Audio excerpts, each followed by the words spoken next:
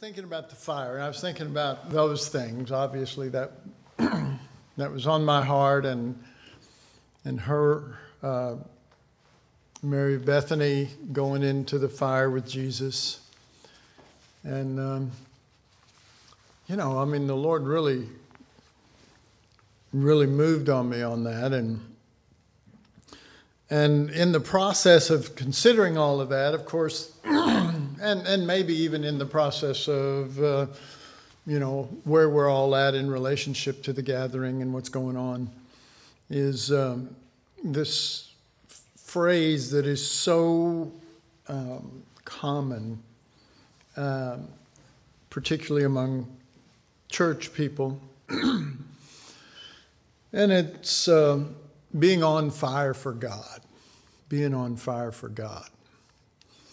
And um, of course, probably the most common meaning, meaning of that is is that we're excited about God or we're um, you know we're really zealous. Yeah, I'm really zealous. um, but um, you know, I've studied this is my earlier days, but I studied revolutions and stuff like that, and I and it, it, was pretty obvious that there was no real movement of God, anything that was really a movement of God, anything that was something where it's really, really happening, not just not just of God, but revolutions in general. Somewhere it started with a spark.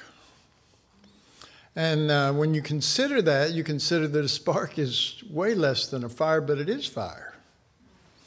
And um, but that spark is what really brings the fire forward. It's the thing that that moves it. It's really the thing that moves it, you know. and um, I was part of the Jesus movement. I was part of the charismatic movement. and um, you know, the charismatic movement is nothing like what it was. It used to be so exciting and God was moving and there was all of these things, you know, and uh, the church was growing and uh, and those kind of things. And the you you you get all caught up in in something, but the truth is is that those things can burn out, just like a fire can burn out. But there are, there are people who seem to stay on fire. I mean, they seem to genuinely stay on fire. I believe that I have survived. Uh, I mean, I was in my early 20s, and now I'm in my early 70s.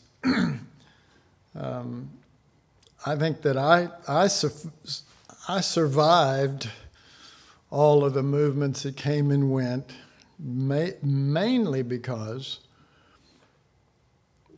I felt like the fire that burned in me was brighter than the fire that was trying to destroy me.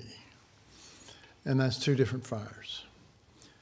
Uh, and we can get those things mixed up in the sharing that we, we do, uh, particularly now on being with Jesus in the, in the fire or on the altar. Um, the, the, the thing that ignited the three Hebrew children, that's the term that you hear most common for them, um, was they already had a fire before they went in the fire. you know. But they didn't have Jesus right there with them. But they had a fire. And they were thrown into a fire, and the fire within, that was in them was greater than the fire they were thrown into.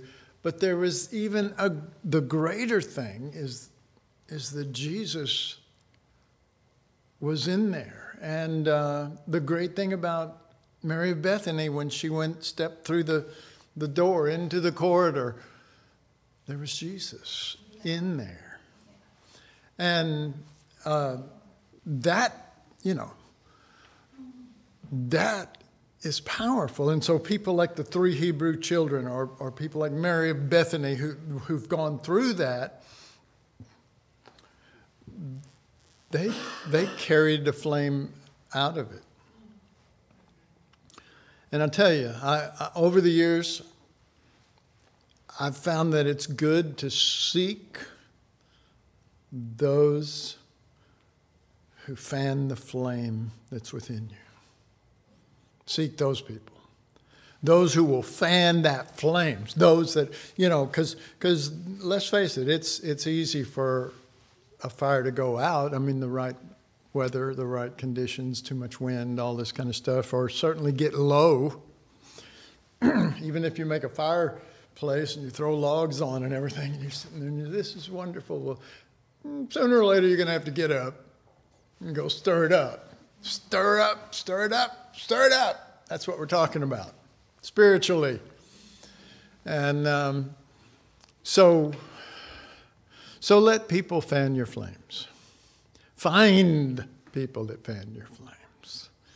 And, and let it rise to a level that you, it will be so strong and so bright that that fire won't go out because it's, it's literally defeating the negative flames that are out there. And then if you add to that, you know, Peter even talks about that, add to this in 2 Peter, those who will fan your flames.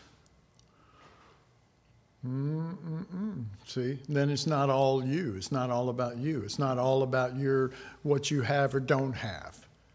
You know, it's about the Lord in them that's working through them, fanning your flames that will eventually have you fanning the flames of others till we all come to the measure, the stature, the fullness of Christ. So, anyway, no, that, I'm not going to preach. That's it.